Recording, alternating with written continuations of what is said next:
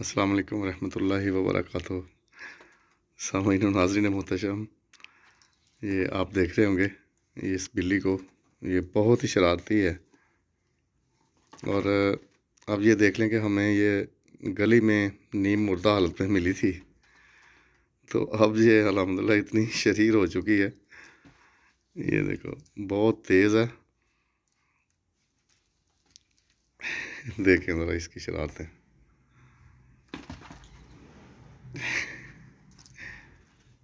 ये देखें।